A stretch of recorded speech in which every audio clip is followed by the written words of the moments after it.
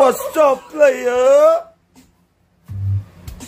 Yeah! Tammy turkey lovers! Gobble gobble, mother truckers! What up, guardian dogs? Where my little bit at, man? It's Hunter's fault. He left that in the White House. Yeah, yeah. Where the big man at? Let that loud cat, man.